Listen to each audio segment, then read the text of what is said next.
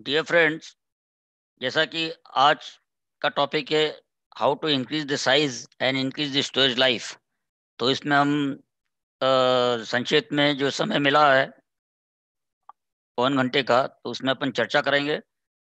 अब तो देख रहे हैं पहली बात साइज़ साइज़ एक सही की तभी आ सकती है जब किसानों को अच्छी वैरायटी का सीड मिले और सीड प्रोडक्शन आइसोलेशन डिस्टेंस को ध्यान में रखते हुए यदि सीड प्रोडक्शन करेंगे तो ही अच्छे क्वालिटी का, अच्छे साइज़ का प्याज मिल सकता है। नहीं तो साइज़ में वेरिएशन आएगा, क्योंकि क्रॉस पॉलिनेटेड क्रॉप है आइसोलेशन डिस्टेंस का पालन यदि नहीं किया होगा तो ये आपको मिश्रित फ़सल मिलेगी साइज़ अलग अलग मिलेगा और उसका फ़ायदा व्यापारियों को होगा, किसान नहीं होते हैं और नुकसान एक्सपोर्ट में भी होता है, क्योंकि वहाँ पर ग्रेडिंग करनी पड़ती है।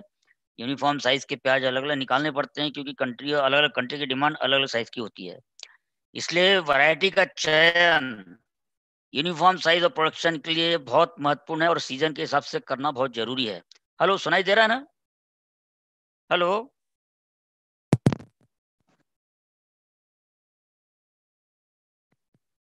hello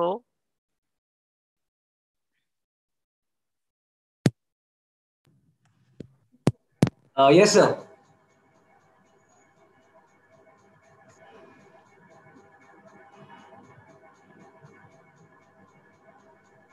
sir आप ऑडिबल हैं? अभी आपकी आवाज़ आ रही है अच्छे से। नहीं आ रही है। बोल रहे हैं।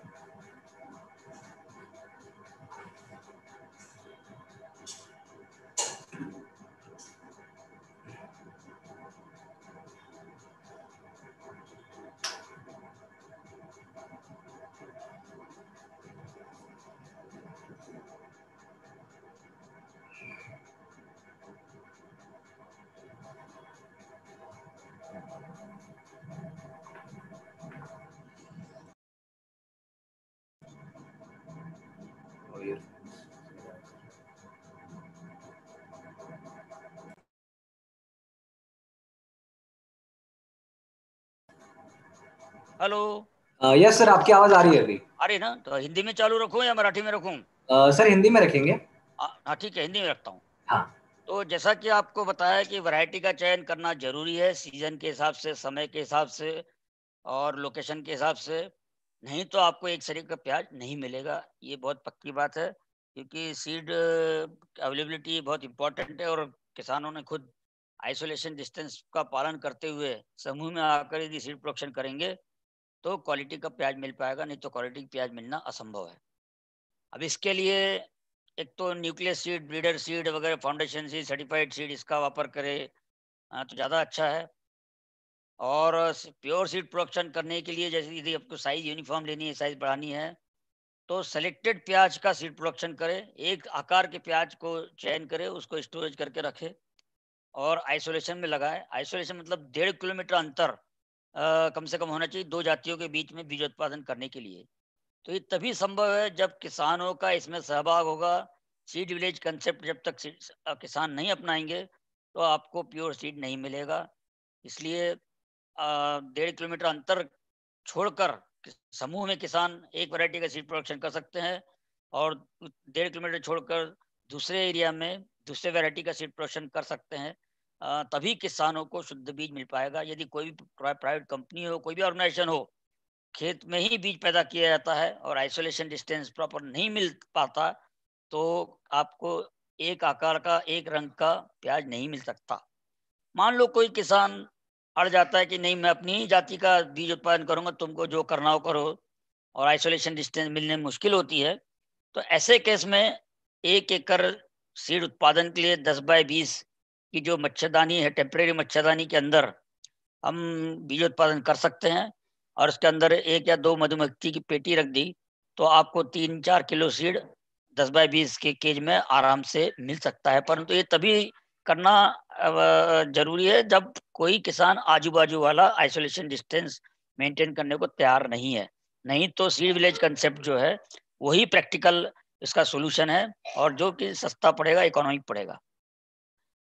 और ये देखिए, अब साइज़ साइंटिफिक कल्टीवेशन साइज़ बढ़ाने के लिए बहुत ज़रूरी होती है। बाहर के देशों में देखा जाए तो 90 परसेंट डायरेक्ट सीडिंग किया जाता है प्याज का, जबकि हमारे देश में 90 परसेंट ट्रांसप्लांटिंग किया जाता है। तो इसके लिए मशीन्स आती है निमेटिक सीड ड्रिल्स आती है, उससे प्याज की बुआई डायरेक्ट होती है और उसमें प्लांट स्पेसिंग वगैरह सब यूनिफॉर्म मेंटेन किया जाता है। तो मैकेनाइजेशन का हमारे देश में स्मॉल फार्मर्स के लिए इक्विपमेंट डेवलप करना ज़रूरी है, क्योंकि बाहर के देशों में बड़े बड़े फार्मर्स होते हैं हज़ार हज़ार एकड़ ज़मीन होती है, जहाँ की मैकेनाइजेशन संभव है। हमारे देश में मैकेनाइजेशन इन मशीनों से संभव नहीं है, क्योंकि ये छोटे एरिया के लिए कारगर नहीं होगा। एक एक दो दो चार चार एकड़ के लिए ये मशीन कॉस्टली पड़ेगी और किसान ले भी नहीं पाएगा। इसलिए किसानों ने भी समूह में आकर यदि 25-50 किसान इकट्ठे आते हैं और सामूहिक खेती करते हैं तो ही मैकेनाइजेशन फ़ार्मिंग संभव है, जिस प्रकार की कंपनियाँ शेयर बिज़नेस पे चलती है तो प्रत्येक किसान अपनी ज़मीन अपने कागज़ पे अपने पास रहेगी। परंतु बंद, बाँध वगैरह सब इकट्ठे कर दिए जाएँगे और 25 यदि किसान आ गए दो दो एकड़ किसान के पास ज़मीन भी रही तो 50 एकड़ ज़मीन इकट्ठी हो जाती है। पचास एकड़ इकट्ठी ज़मीन के लिए आप मैकेनाइज फ़ार्मिंग कर सकते हैं और उसमें सभी किसानों को खेती करने की ज़रूरत नहीं। पाँच दस, पाँच सात किसान ही मैकेनाइज फ़ार्मिंग के लिए सफिशियंट है। पाँच सात किसान जो है, इतर व्यवसाय जो है चालू कर सकते हैं। पोल्ट्री है, डेयरी है, और इसी में से पाँच सात किसान जो है, खुद क्यों नहीं अपने प्रोड्यूस का मार्केटिंग करते हैं और व्यापारी बनते हैं। तो इसमें किसान ही उत्पादक रहेगा और किसान ही व्यापारी रहेगा और जितना जो फ़ायदा मिलेगा, वो जितना जिसका एरिया है, उसके हिसाब से आप किसी भी इंटरप्राइज से हो, चाहे पोल्ट्री से हो वेटनरी से हो या खेती से हो, सभी से ओवरऑल जो फ़ायदा मिलेगा, वो जिसकी ज़मीन जितनी होगी, उसके हिसाब से भी उसको शेयर दिया जाए तो डेफिनेटली व्यापारी किसानों को किसी हालत में लूट नहीं पाएँगे। हमारे किसान आगे बढ़ सकते हैं। ये देखिए, प्याज की हार्वेस्टिंग भी बाहर मशीनों द्वारा होती है, खेत में ही ग्रेडिंग पैकिंग हो जाती है। एक तरीका प्याज प्रोडक्शन किया जाता है, इसकी मैच्योरिटी एक साथ होती है। तो इस प्रकार खेती करेंगे तो ही हमें अच्छा फ़ायदा हो सकता है। अभी खेतों में ही मशीन द्वारा पैकिंग होती है यानी इसमें एक तो सफ़ाई का भी ध्यान रखा जाता है कंटामिनेशन के चांसेस नहीं रहते, और पैकिंग भी देखिए कैसे अट्रैक्टिव रहती है। एक प्रकार की ओनियन आपको दिखते हैं ब्याज से कंज्यूमर भी इसमें खुशी से प्याज मटेरियल लेने में तैयार रहता है, क्योंकि उसको पारदर्शिता रहती है कि भाई अंदर जो मटेरियल है वो एक तरीका जाली में दिख रहा है, और एक ब्रांड रहता है, हर एक किसान का वहाँ ब्रांड डेवलप हो जाता है तो इस ब्रांड से किसान अपना प्याज बेच सकता है। अब प्याज में अच्छा पैदावार करने के लिए कीड़े और बीमारी का रोकथाम बहुत ज़रूरी है। इसमें सबसे पहले रोप वाटिका साइंटिफिक तरीके से पैदा करना ज़रूरी है। एक सरी के, एक आकार के रोप होंगे आपके तैयार तो ही आपको एक सरी का प्याज मिलेगा, उत्पादन होगा। नहीं तो आप कोई सी वैरायटी लाए और रोप वाटिका में रोप एक सरी के यदि नहीं रहे, एक एक मोटाई के नहीं रहे, एक एक आकार के नहीं रहे तो यहाँ पर ही आपका उत्पादन फिफ्टी परसेंट कम हो जाएगा। तो इसमें रोप वाटिका में एक तो लाइन पे चार सेंटीमीटर अंतर छोड़कर हल्की से लाइन में बीज बोए, उपचारित करके बीज बोए तो आपको रोप वाटिका अच्छी तंदुरुस्त मिलती है। बीजा, किसान क्या करता है? बीज लाता है रोप, और नर्सरी में फेंक के बीज बोता है। जिसके कारण जिधर बीज घना पड़ता है, वहाँ रोप पतला हो जाता है, और जिधर बीज पतला गिरा हुआ होता है, वहाँ पर बीज मोटा होता है। और रोपाई के समय सभी रोप एक सरी का एक साथ लगाने को लेते हैं। और रोप का आकार एक सरीका नहीं होने के कारण आपका जो प्याज का आकार एक सरी का नहीं आ सकता। इस बात का ध्यान ज़रूर, देना ज़रूरी है। और लाइन में भी यदि हम बीज नहीं बोते हैं तो बीमारी भी जो है, इसमें डैम्पिंग ऑफ़ बीमारी ऐसी आती है कि रातों रात यदि ध्यान नहीं दिया जाए तो फेंके हुए बीज में तो रातों रात पूरी नर्सरी चौपट हो जाती है और जहाँ कच्चा गोबर का खाद उपयोग किया हो, वैसे समय में ये डैम्पिंग ऑफ़ और रॉट इन रोप वाटिका में बीमारी बहुत आती है, लेकिन लाइन में यदि बीज बोए तो ये बीमारी वहीं के वहीं रोकने में हम कामयाबी हो सकते हो, और जहाँ पर बीमारी आई है, वहाँ दवाई का डेंचिंग करके ज़मीन को ट्रीट कर सकते हैं और आगे बढ़ने से रोक सकते हैं। यदि हम फेंक के बीज बोते हैं और जब बीमारी पूरे खेत में एक साथ नर्सरी में फैल जाती है तो अगले साल उस एरिया में नर्सरी लेना भी बहुत मुश्किल हो जाता है, क्योंकि ये ज़मीन जन रोग है और ज़मीन में ये जीवाणु और फपूंद है, वो बढ़ते रहती है। जहाँ पर डैम्पिंग ऑफ़ वगैरह की ज़्यादा प्रॉब्लम है तो हम समर सीज़न में सोलराइजेशन कर सकते हैं। मई, जून के महीने में गर्मी जहाँ पड़ती है, उस समय जहाँ पर बीमारी की समस्या, डैम्पिंग ऑफ़ की ज़्यादा हो, वहाँ ज़रूरी है, बाकी अन्य जगह ज़रूरत नहीं है। तो सॉइल सोलराइजेशन ट्रीटमेंट किया जाता है, इसमें बेड बना लिए जाते हैं और उसको मट्टी को नम कर लिया जाता है और पॉलीथीन से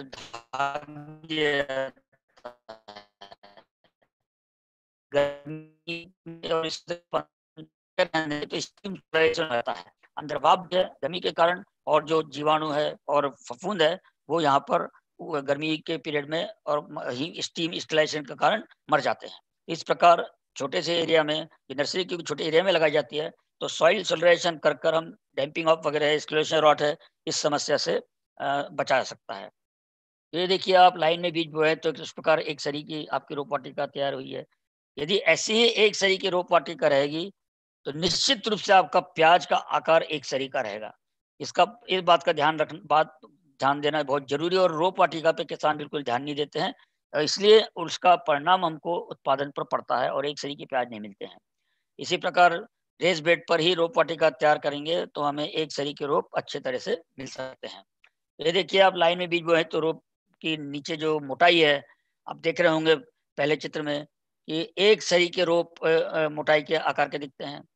तो इनको लगाना कब है? इनका जो एक सरी का प्याज पाना है तो रोप की अवधि क्या होनी चाहिए?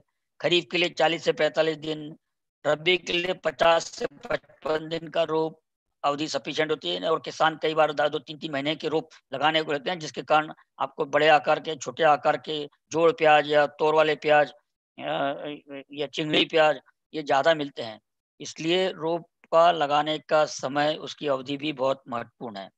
और इस, और रोप लगाने के पूर्व आप इसको पाँच पाँच सौ, छः छः सौ रोप के बंडल बना सकते हैं।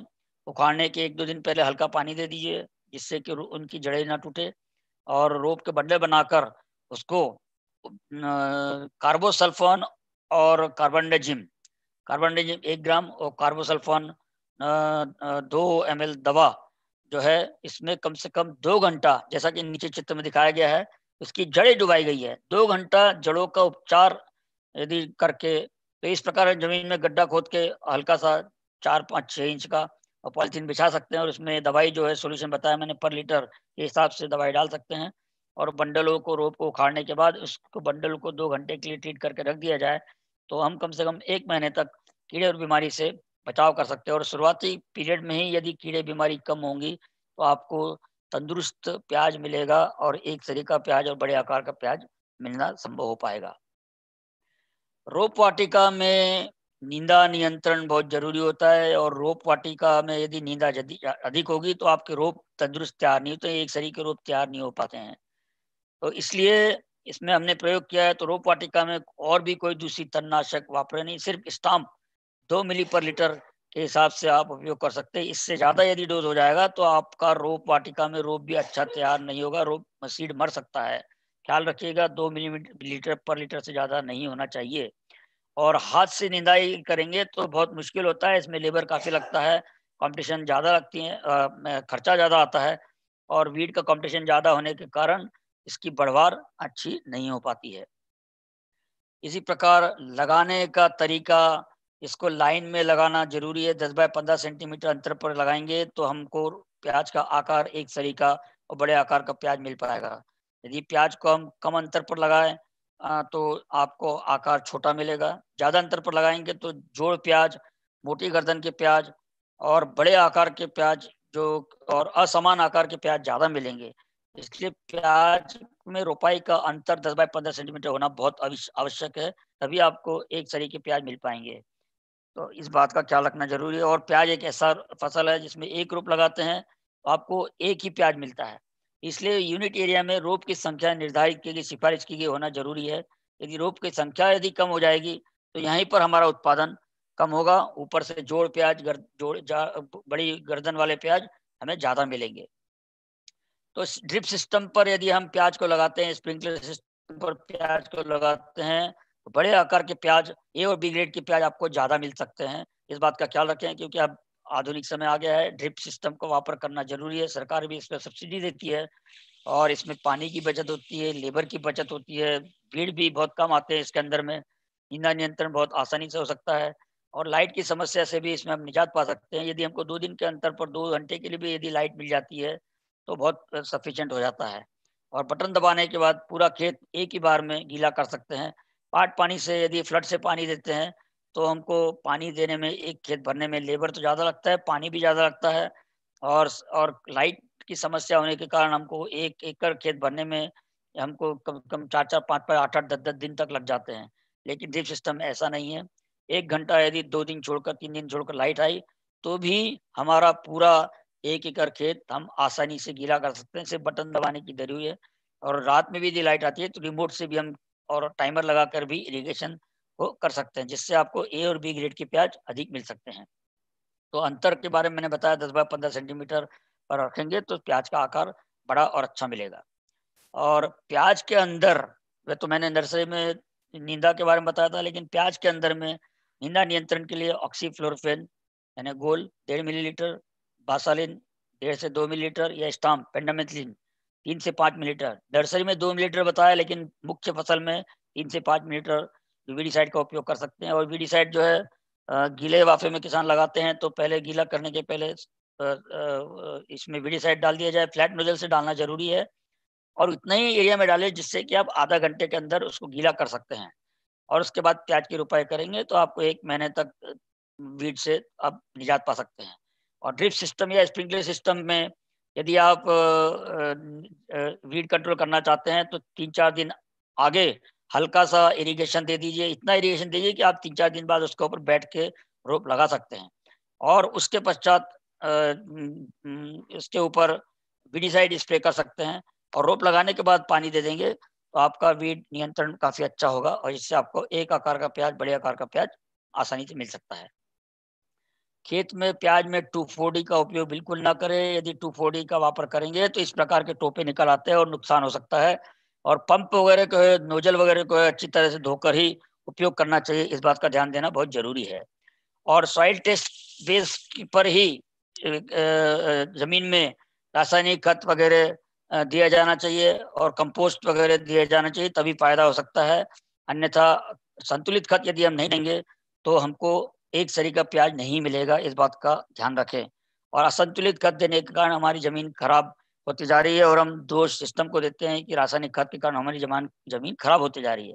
लेकिन रासायनिक खाद के साथ साथ गोबर की खाद कंपोस्ट और, जो जीवाणु खत आजकल आए हैं, आजकल जैविको वगैरह जो है माइक्रोराइजा वैम वेसिकुलर माइक्रोराइजा इसका वापर करेंगे तो डेफिनेटली आपका उत्पादन अच्छा होता है और ये न्यूट्रिशन को लेने में माइक्रोराइजा जो है एस आर के कंपनी भी माइक्रोराजा डेवलप किया हुआ है, जैविक को करके। तो ये माइक्रोराजा ज़मीन में न्यूट्रिशन लेने में फ़ायदा करता है जड़ों के द्वारा और प्याज की जो बढ़वार अच्छी होती है अच्छा न्यूट्रिशन संतुलित न्यूट्रिशन एब्जॉर्ब करने में मदद करता है। और साथ में खेत में ट्राइकोडर्मा का उपयोग भी करना ज़रूरी है इसके कारण कि आपको जमीनी जन्य रोग बीमारी से आप बच सकते हैं।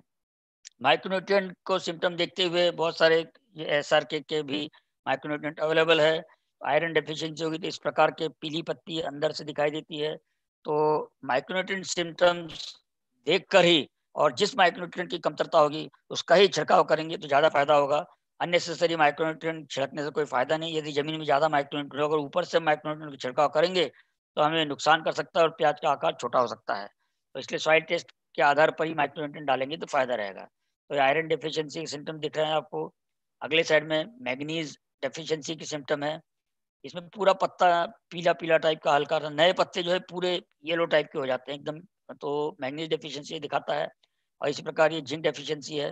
तो डेफिशिएंसी को देखते हुए आपने माइक्रोट्रिन का उपयोग करना है। जैसा कि मैंने मतलब साइज़ कम है तो बहुत इंपॉर्टेंट है। एक सही के प्याज होना ज़रूरी है। गल्फ कंट्रीज़ में चालीस से साठ एम का प्याज की आवश्यकता होती है? साउथ ईस्ट कंट्रीज़ में पैंतीस से चालीस एम प्याज की ज़रूरत पड़ती है। बांग्लादेश में छोटे आकार के प्याज की डिमांड ज़्यादा है, वहाँ बड़े आकार के प्याज को भाव नहीं मिलता है। इसी प्रकार श्रीलंका में 40 से 50 मिलीमीटर के आकार के प्याज को भाव ज़्यादा मिलता है। इसलिए एक आकार का प्याज पैदा करना बहुत ज़रूरी है और इसके लिए साइंटिफिक खेती करेंगे तभी ये संभव है। तो ये इस प्रकार आप खेत, रेस बेड तैयार कर सकते हैं। अब रही रासायनिक खत की बात तो इसमें पोल्ट्री मैन्योर, वर्मी कंपोस्ट, चार टन, पोल्ट्री मैन्योर साढ़े सात टन, और बायो फर्टिलाइजर्स वगैरह जो है एजेस्पेरलम फॉस्फोबैक्टीरिया इस कंपनी ने भी बहुत से कल्चर डेवलप किए हुए हैं। तो ये अपन, हम ऐसा की कंपनी के भी जो एजेस्परम है फॉस्फोर बैक्टीरिया है ये हम ज़मीन में यदि उपयोग करेंगे तो हमें अच्छे आकार का, एक आकार का प्याज मिलेगा। और यदि, और इसके अलावा यदि पोल्ट्री मेन्योर नहीं है, वर्मी कंपोस्ट नहीं है तो हमें पंद्रह टन प्रति हेक्टेयर गोबर खाद तो जानना ज़रूरी ज़रूरी है। उसके अलावा रासायनिक खत में तो खरीफ के लिए पचहत्तर किलो नत्र, चालीस किलो फॉस्फोरस, चालीस किलो पोटैश और पचास किलो गंधक प्रति हेक्टेयर। इसी प्रकार रबी के लिए 110 किलोग्राम नत्रजन 40 किलोग्राम फॉस्फोरस 60 किलोग्राम पोटैश और 50 किलोग्राम गंधक ये सिफारिश किया गया है। तो बेसल डोज, एन के में फास्फोरस पोटैश और गंधक का बेसल डोज दिया जाना चाहिए, जबकि नत्र को देते समय तीन भाग में देना देंगे तो ही आपको फ़ायदे कारक रहता है। पहला भाग लगाने के समय, दूसरा भाग लगाने के एक महीने के बाद, और तीसरा भाग लगाने के 45 से 50 दिन बाद। जो भी खाद वगैरह आपको देना है, आपको 60 दिनों के अंदर ही दिया जाना चाहिए। तभी आपको उत्पादन अच्छा मिल सकता है।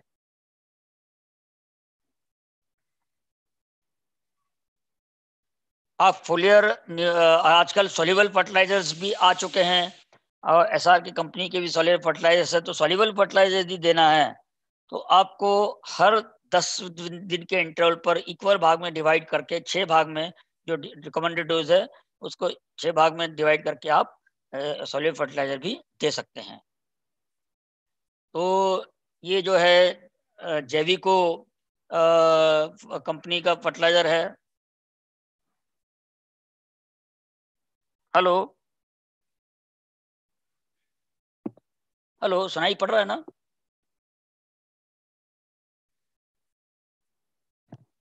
हेलो सुनाई पड़ रहा है ना हाँ सर सुनाई दे रहा है अभी। हाँ ठीक है ठीक है वही वही। हाँ तो ये जैविको जो है ये बायो फर्टिलाइज़र है वेसिकुलर आर्बोस्कुलर माइक्रोराइजा है और इसका डोज जो है चार किलोग्राम प्रति एकड़ आवश्यकता होता है और ये अकेले प्याज के लिए नहीं कई फ़सलों में भी इसका उपयोग फ़ायदे कारक रहता है और वेसिकुलर आर्बोस्कुलर माइक्रोराइजा ये जो है ज़मीन में प्याज की जड़ों के अंदर डेवलप हो जाता है, उसके आजू बाजू डेवलप होता है और ज़मीन से माइक्रोन्यूट्रिएंट हो गया मैक्रोन्यूट्रिएंट हो गया न्यूट्रिएंट आदान प्रदान करने में बहुत सहायक होता है, जिसके कारण आपका जो फर्टिलाइज़र जो है, संतुलित खाद प्याज को मिलती है और प्याज की बढ़वार बहुत अच्छी होती है और अधिक हो सकती है। तो इसको भी आप गोबर की खाद में ज़मीन में लगाने के पहले आखिरी तैयारी के समय ज़मीन में इसको मिला सकते हैं। इस प्रकार जैविकों का मतलब वहम बायो फर्टिलाइज़र है तो ये काफ़ी फ़ायदे कारक रहता है, ओनियन क्रॉप के लिए भी। तो मैंने कहा संतुलित खत, ये बहुत महत्वपूर्ण है, तभी आपको एक आकार का प्याज मिल पाएगा, नहीं तो प्याज की साइज़ अनिफॉर्म रहती है और ज़मीन भी हमारी खराब हो जाती है। तो जैसा कि ये ऑलरेडी मैं बता चुका हूँ माइक्रोन्यूट्रेंट वगैरह जो है, यदि देना पड़ा तो हम सल्फाइड फॉर्म में माइक्रोन्यूट्रेंट को दे सकते हैं। जैसे जिंक की कमी है तो 0.5 परसेंट जिंक सल्फाइड, मैग्नीज की कमी है तो मैग्नीज सल्फाइड, बोरिक, बोरॉन की कमी है तो बोरिक एसिड के थ्रू हम दे सकते हैं। आयरन की कमी है तो फेरस सल्फाइड और कॉपर की कमी है तो कॉपर सल्फाइड के थ्रू हम ये माइक सूक्ष्म तत्व को दे सकते हैं। इसी साथ साथ एजेटोबेक्टर, चार किलोग्राम प्रति हेक्टेयर यदि दिया तो ये भी नत्र अवेलेबिलिटी करने में फ़ायदा करता है। कभी कभी देखा जाता है किसान परिणाम से जितना सिफारिश की उससे ज़्यादा खाद दे देता है, संतुलित खाद दे देता है, नत्र का ज़्यादा वापर कर लेता है या गोबर की खाद खूब ज़्यादा दे देता है, जिससे प्याज की बढ़वार बहुत ज़्यादा हो जाती है, घुटने से ऊपर पत्तियाँ बढ़ जाती है और दो महीने के बाद देखते हैं उसके अंदर प्याज का डेवलपमेंट नहीं दिखता है और गर्दन मोटी होती है। तो ऐसे समय में लिवोसिन चार से छः मिलीलीटर प्रति लीटर पानी में साठ और पचहत्तर दिन के रुपाई के बाद यदि हम करें तो नीचे प्याज बनने में फ़ायदा होता है। जो कि एक्सेस न्यूट्रिएंट देने के कारण जिसमें प्याज नहीं बनती है तो हम ये लिवोसिन का स्प्रे करें तो फ़ायदा कारक हो सकता है। हेलो हेलो अब अब रही बात प्याज को आकार बढ़ाना है तो रोग और बीमारियों का भी रोकथाम करना समय पे बहुत ज़रूरी है। प्याज में मुख्यतः तीन बीमारी ज़्यादा आती है। एक तो पर्पल ब्लॉज ये खासकर खरीफ में ज़्यादा आती है या जैसे बदली वाला वातावरण रहता है का, काफ़ी देर यदि बादल रहे तो पर्पल ब्लॉज इस टाइप के जामड़े रंग के धब्बे पड़ते हैं बैंगनी आकार के और बाद में पूरा पौधा सूखने लग जाता है। तो ये अल्टरनेरिया पोरी ऑर्गेनिज्म के द्वारा ये रोग होता है। दूसरा रोग है स्टेम फ़िल्म ब्लाइट, जो कि रबी में इस समय, इस प्रकार का जो वातावरण अभी चल रहा है। तो ऐसे वातावरण में स्टेम फ़िल्म ब्लाइट बहुत ज़्यादा आता है और ये तो अभी अर्ली स्टेज है।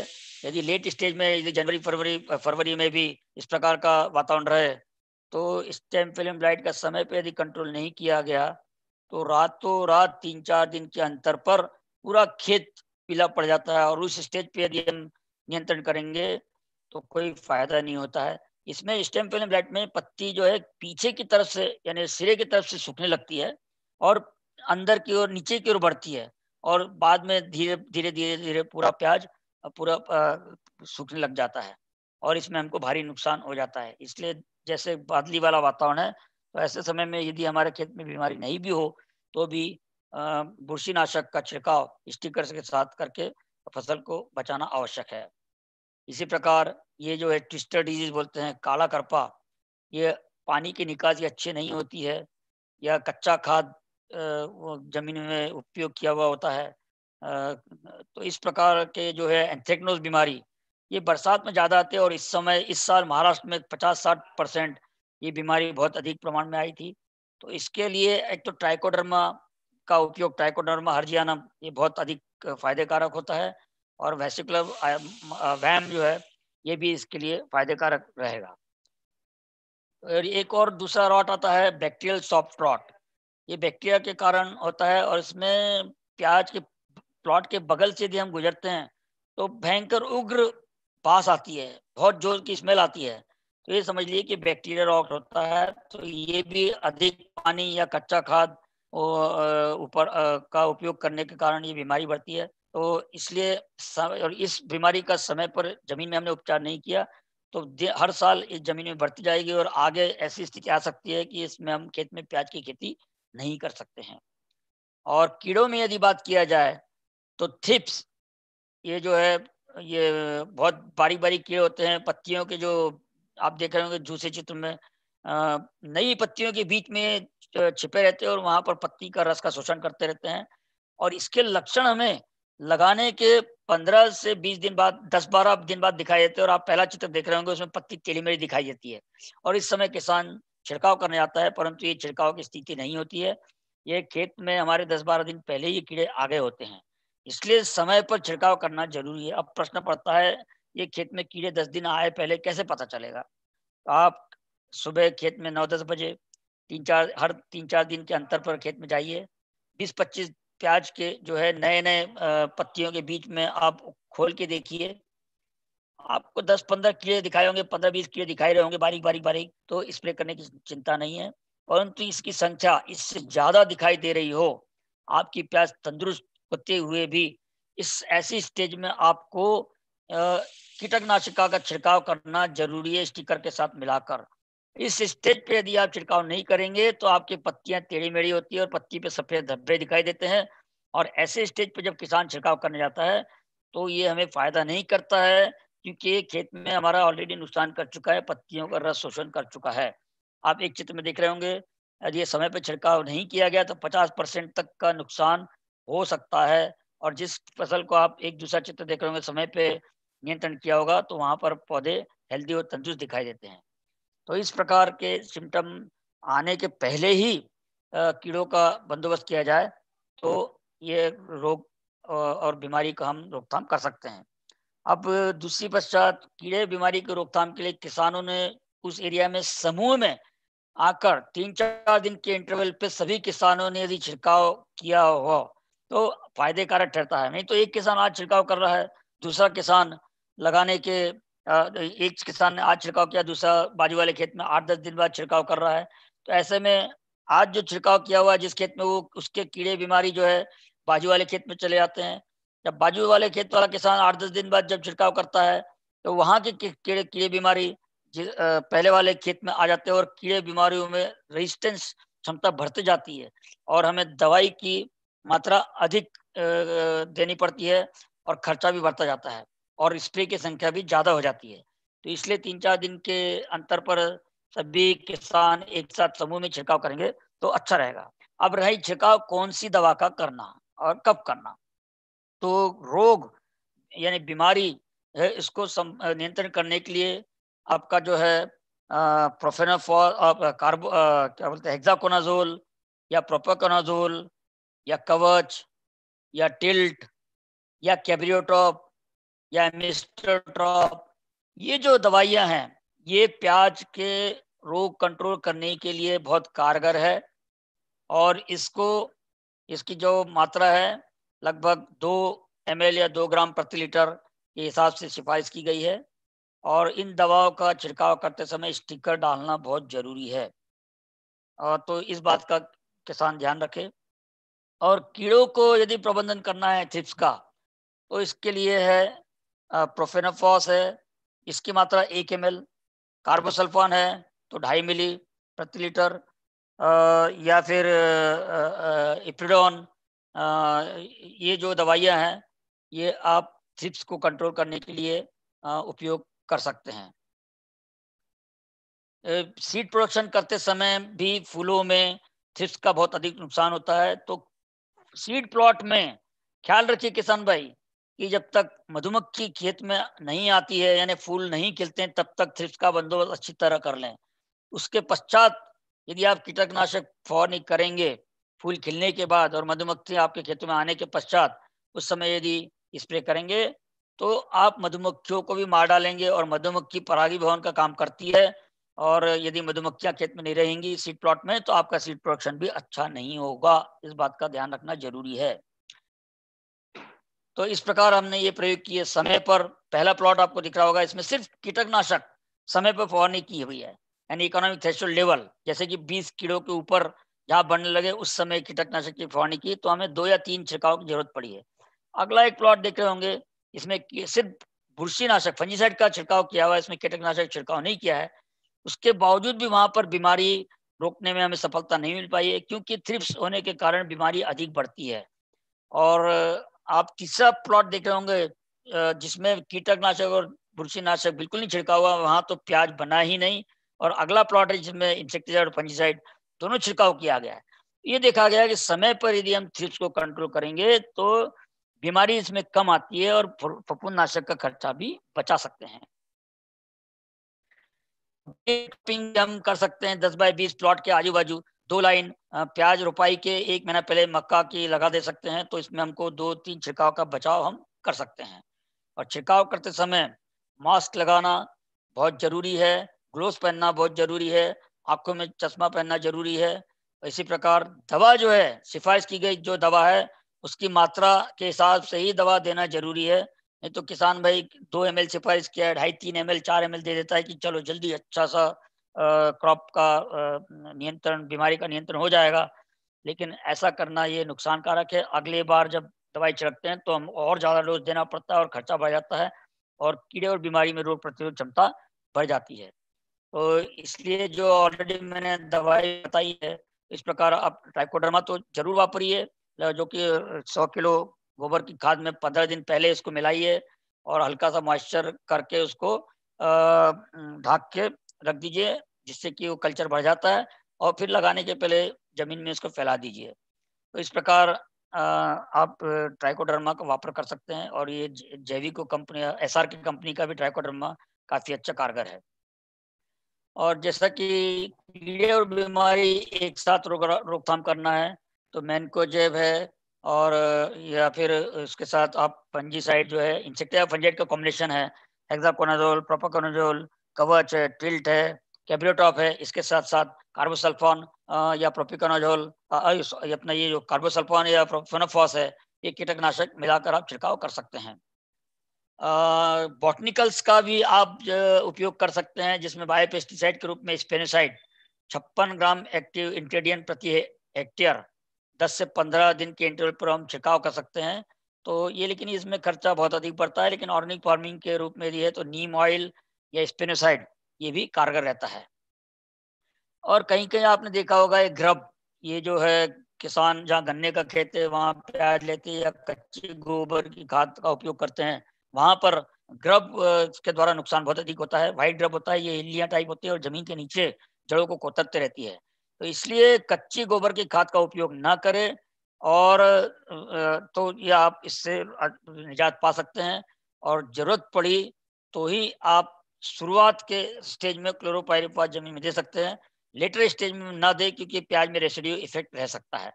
तो इस प्रकार ये ज़मीन में जड़े काट डालता है और पौधे ड्रप के कारण नुकसान हो सकता है।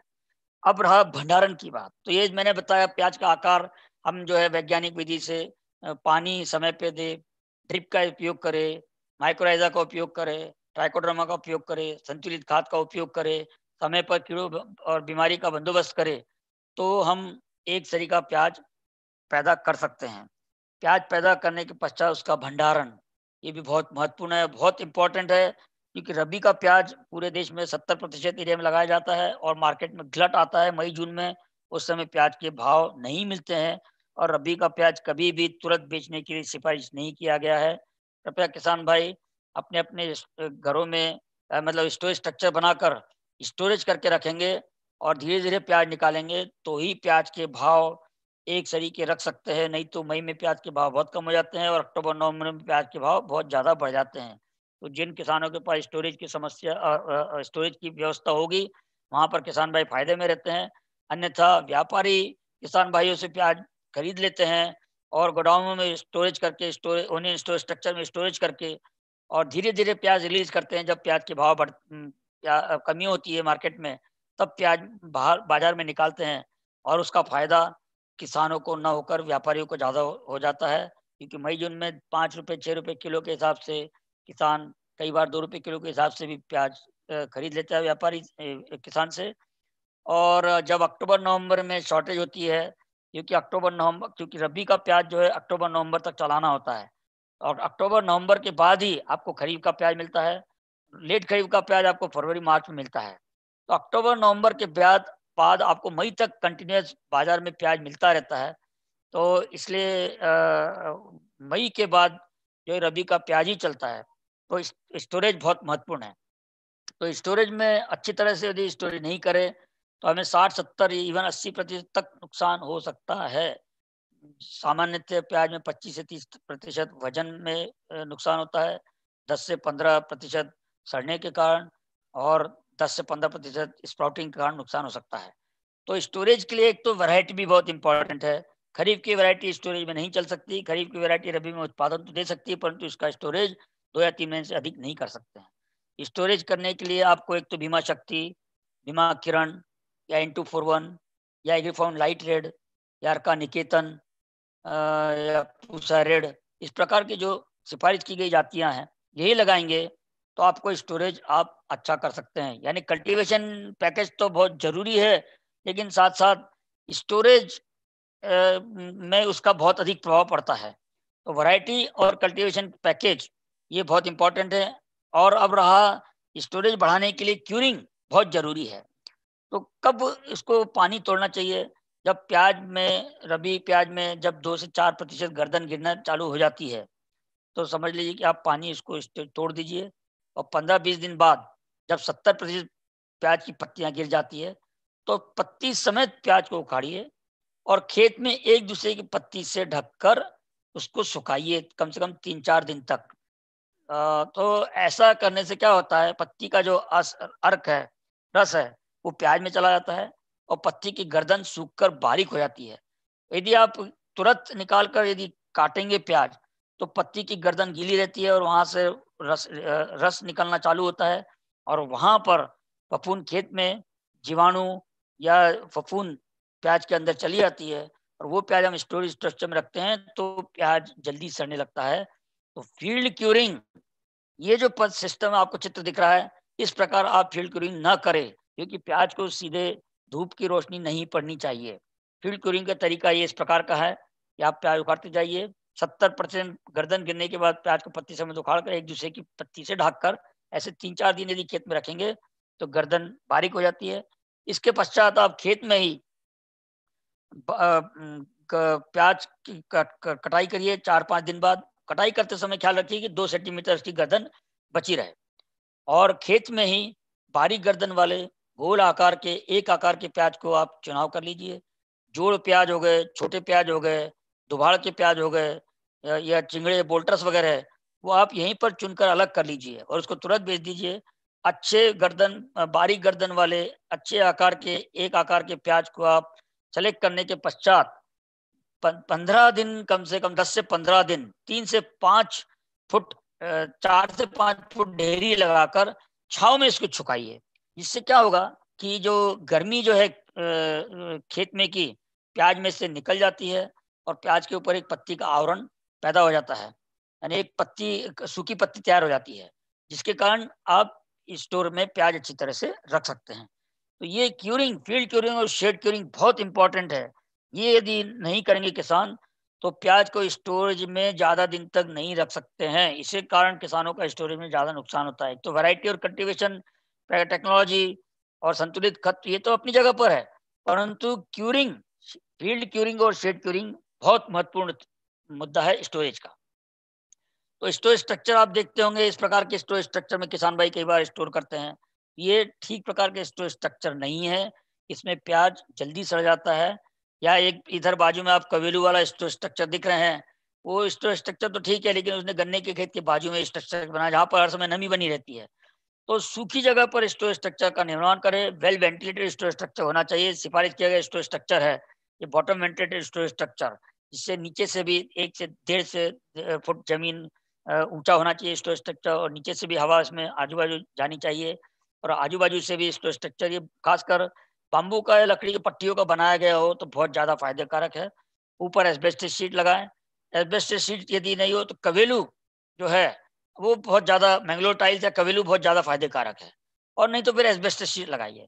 लेकिन किसान भाई जाली लगाते हैं लोहे की और पतरा ऊपर वापरते हैं तो ये सिफारिश नहीं किया गया है। पतरा यदि लगाया गया है तो आप उसके ऊपर धान की या मक्के की जो है पेड़ी ऊपर जो है रखना ज़रूरी है जिससे कि पतरे के ऊपर डायरेक्ट धूप मर, न पड़े और अंदर गर्मी ना पैदा हो।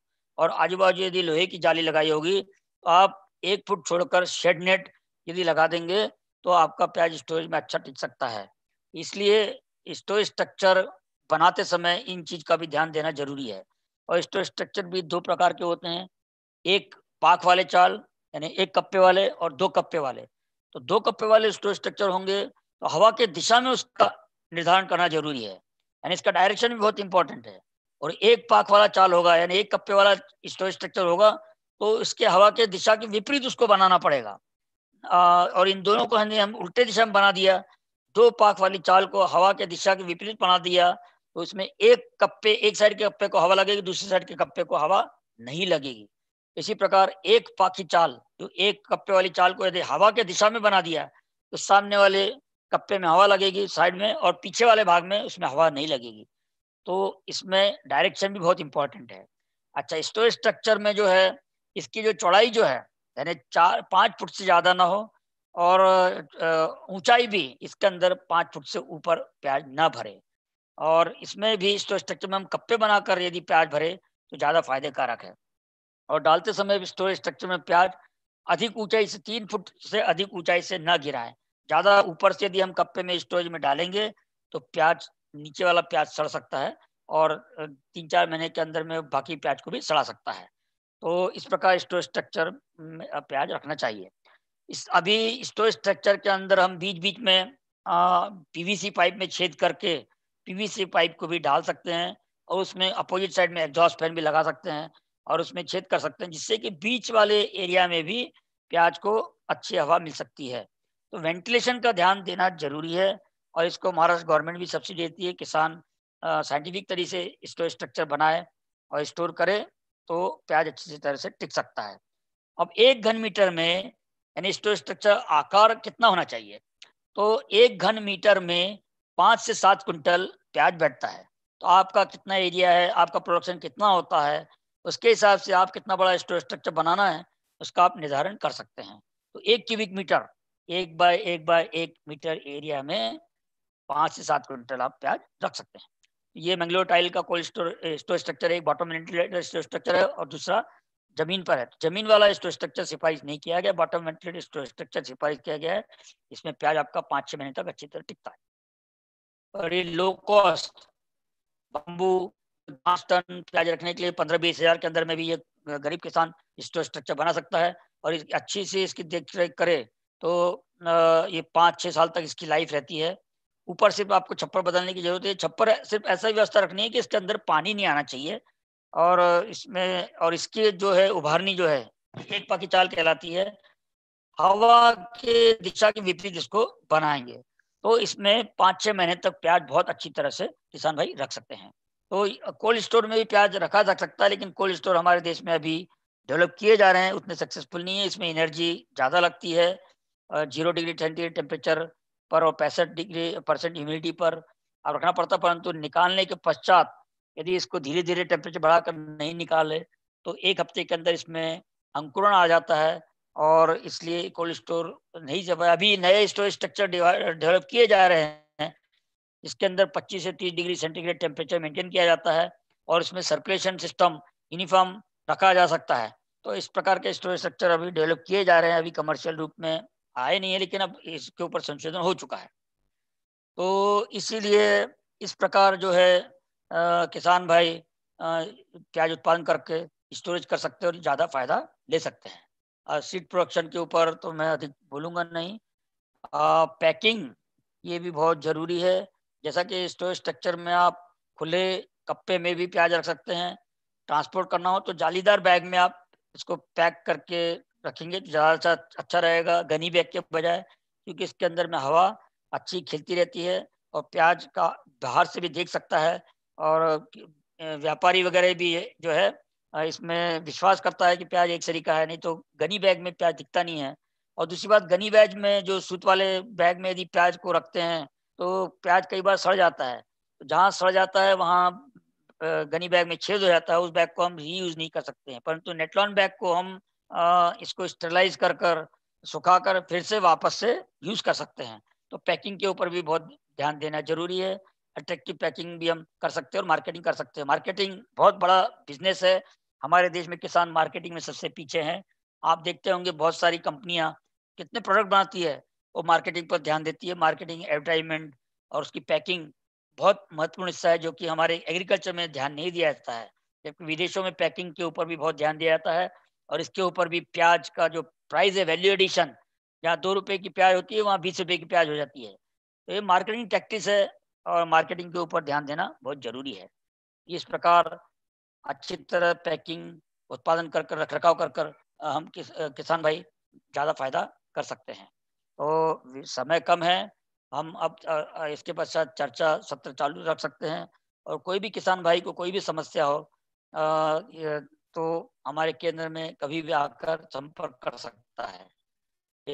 इसलिए अपने पोषण में प्याज और लहसुन का अधिक उपयोग करें क्योंकि प्याज और लहसुन में कोलेस्ट्रॉल हार्ट बीमारी और कई बीमारियों के प्रति रोकथाम होती है और ये मेडिसिनल पर्पस के रूप में भी काम में आती है। ये इतना बोलकर मैं यही समाप्त करता हूँ। धन्यवाद।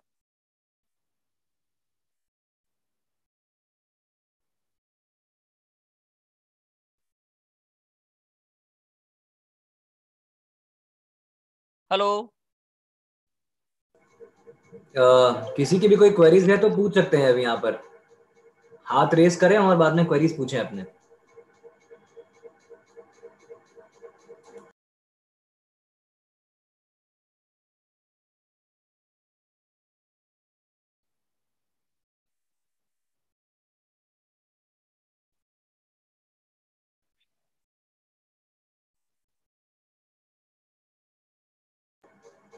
बाकी जो भी क्वेरी सर आते हैं ग्रुप के ऊपर में अपलोड करने बोल देंगे लड़कों को। हाँ चलेगा कोई बात नहीं। तो फिर अकॉर्डिंगली क्लियर कर लेंगे क्वेरी हाँ नहीं बाद में भी अपन इस क्वेरीज को बाद में भी क्लियर कर सकते हैं जैसे कोई आती है। अभी मान लो नहीं ख्याल में आता है तो। जी किसी की क्वेरीज हैं कुछ? विजय का कोई क्वेरी है दिलजीत का कोई क्वेरी है? हम्म। बोलिए बोलिए बोलिए। सर विजय परमार बोल रहा हूँ गुड इवनिंग सर। हाँ गुड इवनिंग बोलिए। सर आपने कभी जिंक और जो न्यूट्रंस के बारे में बोला था कि सल्फेट फॉर्म में देना बहुत ज़रूरी है। हाँ। तो थोड़ा सा मुझे इसको एक्सप्लेन करिए ना सल्फेट फॉर्म ही क्यों? आ, या हर फ़सल में दे सकते हैं कि सिर्फ़ प्याज वगैरह में देना नहीं, पड़ता है? माइक्रोन्यूट्रिएंट जनरली सल्फेट फॉर्म में ही फायदेकारक रहता है। अच्छा अच्छा। हाँ। सर थोड़ा सा एक्सप्लेन करिए ना थोड़ा सा हम समझ जाए उस चीज़ को कि फार्मर को समझाने में हमें इजी हो जाएगा कि क्योंकि क्योंकि क्या है एक तो इसमें सल्फ़र तो साथ में मिलते ही है और सल्फ़र के कारण अवेलेबिलिटी इन माइक्रोन्यूट्रिएंट की इजी हो जाती है। जी जी दूसरे फॉर्म में जो है टॉक्सिक हो सकते हैं। क्लोराइड फॉर्म में देंगे तो आपको पत्तियाँ जला सकता है। जी जी जी जी। है ना? जी। हाँ तो कंपेटेबिलिटी मतलब, होना ज़रूरी है पौधों से। जी जी जी। तो सर ये ऑल क्रॉप में सल्फेट फॉर्म में अगर देंगे तो जनरली सल्फेट फॉर्म में आता है या चिलेटेड फॉर्म में आता है या सल्फेट फॉर्म में आता है। जी जी जी। Thank you thank you sir हाँ हाँ हाँ।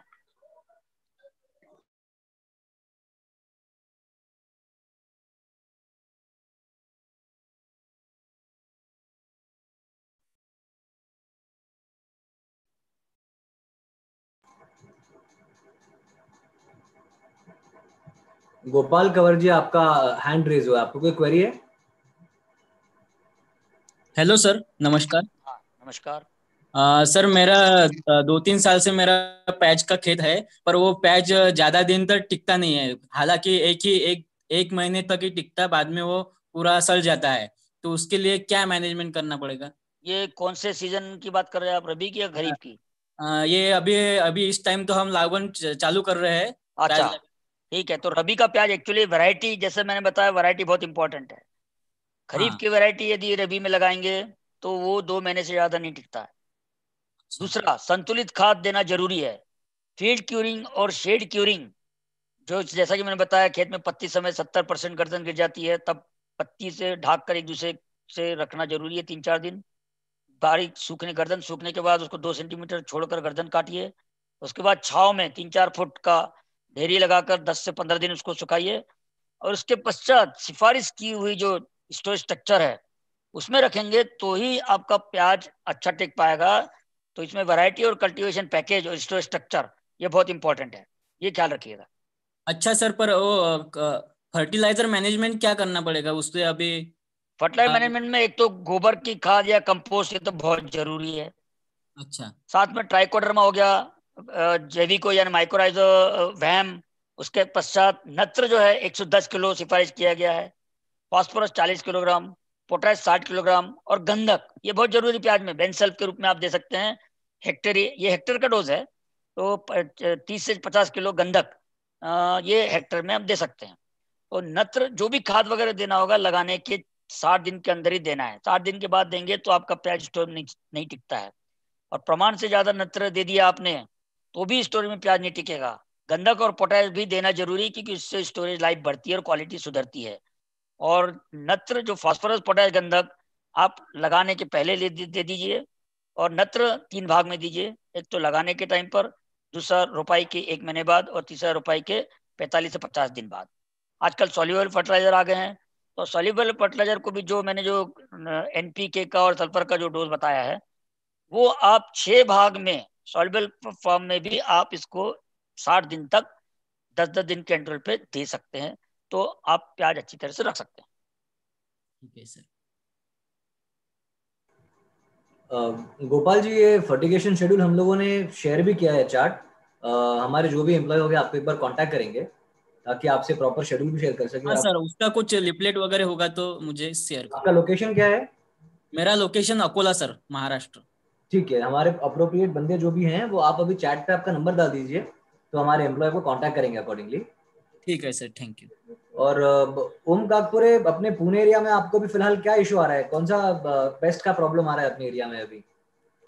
पेस्ट तो... का प्रॉब्लम हेलो सर पेस्ट का माने तो सर जैसे अपन बोल रहे हैं ना मोआ का सबसे ज़्यादा प्रॉब्लम आ रहा है सर अभी। थ्रिप्स हाँ, इस समय थ्रिप्स बढ़ता है। हाँ। बिल्कुल सही है। इसमें क्या है आप मैंने बताया इकोनॉमिक थ्रेशोल्ड लेवल पे स्प्रे करना ज़रूरी है।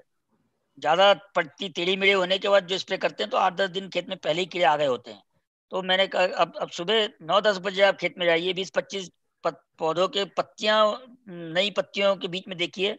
पंद्रह बीस कीड़े होंगे तो चिंता नहीं है लेकिन उससे ज़्यादा यदि कीड़े बढ़ रहे होंगे तो फोफेनाफॉस है एक मिलीलीटर दवा या फिर कार्बोसल्फोन। दो मिलीलीटर दवा स्टिकर के साथ मिलाकर आप छिड़काव करेंगे तो आप अच्छी तरह से रोकथाम कर सकते हैं।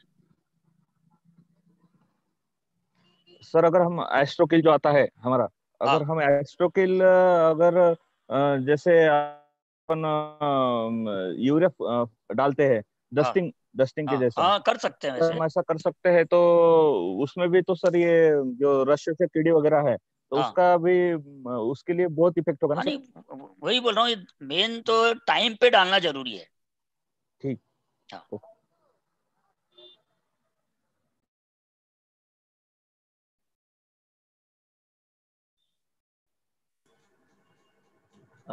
जी सर आई थिंक अभी सबके क्वेरीज क्लियर हो गए हैं। हाँ हाँ।